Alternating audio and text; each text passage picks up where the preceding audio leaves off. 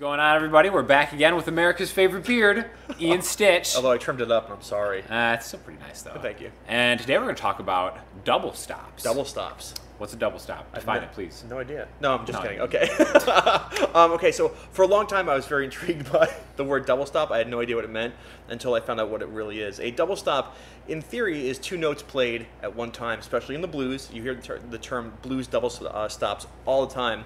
But more importantly, what makes them up? Should I get into it right now? What, Well, actually, double stops were different for me when I was in college. oh, how so? Double stop was actually a move perfected by me and my buddy Zach, where if there was like an attractive girl in one of my college classes, right? This is this is the move. So you're gonna be the attractive girl, right? Of course You stare ahead because you're not paying any attention to me. So what I'm gonna do, I'm gonna hardcore stare at him, her, until until she looks, look, and then I'd look away, and then I look back, and I see her looking at me, right? And that's what we call the double stop. But anyways, it was very effective, and I suggest you try that out Yeah. that's what a double stop was to me. But then I learned how to do the blues double stop, which we're going to talk more about. We're talking more about right now.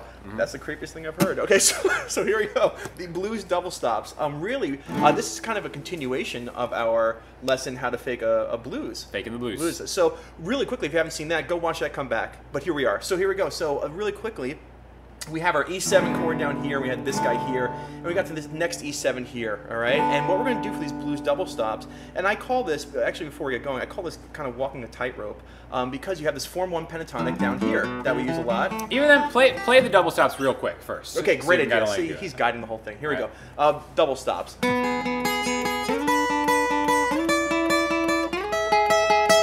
That type of stuff. Making your way through the fretboard in a way that kind of makes sense. s- Hopefully, hopefully, it makes sense. Hopefully, right? here we go. Let's try to Yeah. give it some sense. So how do you do this? Well, you really need to know your seventh chord um, voicing. So we have this guy here. We have four, four, three, four. And in our Faking the Blues video, we use this to actually play, but now we're going to use this for the double stop. You're Right. actually This was this was a chord like the D7 up two frets, D D sharp, E7. So E7. it's an E7. E7 Voicing, Voicing. right. So you don't really need your middle, your first finger. So you have the G uh, G string fourth fret and the uh, E string fourth fret. And you take your pick and you do these triplets, triplet, right? Triplet. Now the next chord voicing I'm going to use really comes from this E7 here, which if you're going to play it is going to be barred down. You have seven, nine, seven, nine, seven. And really, we just need the seventh fret of the G string and seventh fret of the high E string. They're in the chord. You can hear it. So I go from this guy and I slide into that guy. The next one I do is I use this voicing here, which is from the, the previous video. We have 9th fret barred, and then we have 10th fret here. Again, just the G string, 9, and high E string, 10. Uh, yeah, 10. So I have. And the last voicing you need to know is really this E7, but all the way up here. And it's the 13th fret of the G and the 12th fret of the high E. So we have these four voicings, four and four, seven and seven, nine and 10, and you're gonna switch your middle finger out, 13 and 12. These are all pieces of E7 chords. Yeah, so you can look at these as individual voicings, or you can kind of look at them almost as inversions, pieces of inversions of chord voicings. Yes. To move yourself through. And again, the biggest thing is uh, double stops. I mean, you and I were talking about it, which is at first we thought they were just pieces of pentatonic scales or just. And, you can be, I mean, there's different definitions. People use double stop in different ways. Like if you're just making your way through like like just kind of like pieces of it, but I think this is just more of a, a functional double stop lesson where we're building Yes. something. We're taking a song in a direction. Absolutely, and that's that's the key to this is, is when you're soloing, how do you even play this or where do you put it? And that's a great, great statement, which is again before we, we place it, we have four and four, seven and seven, nine and ten, and 13 and 12, and those are again just pieces of the chord. But where we usually put this is in the 12 bar blues, we put this in the measure right before we change to the four chord. So if we were playing an E, we'd have the E for three bars. Let's, and we'll, we'll do it. Yeah. Yeah.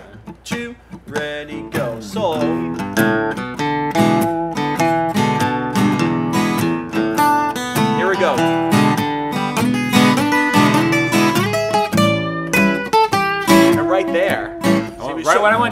A, I started with the E7 and I went to the four chord E F G A. Yes. A7. I went to the A7 and that's where. Well, that's where I landed on this pentatonic up here. And I call this, again, walking the tightrope because you have these two little strings that you got to connect this form one pentatonic to this form one pentatonic. And you got to do it quickly. You have one bar to do it. That's right. On the last Clock's ticking. Yeah, clock's ticking. it is. So you have one measure. It's the last measure of the E before we go to the A, and that's where I land. So we'll do it one more time. One, two, four. Cool. Okay, we Let's do have it. one, two, ready, go.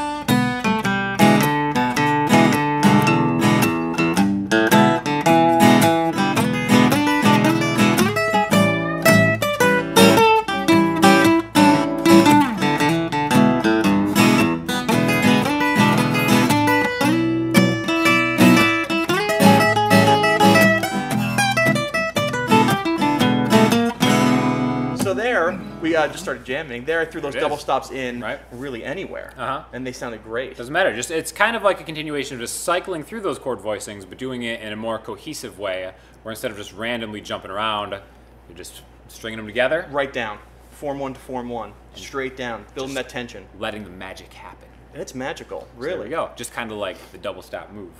I'm tell I'm telling you. Do I mean use with caution, of course. Absolutely. Anyways, if you like the stuff, check out Ian's channel. Oh, Stich Method, one word. Stich Method Guitar on YouTube. Thank you, Sean. You're the man. Oh, stop it. I'm so please. glad we're friends. Enough. Enough. Till next time. Bye.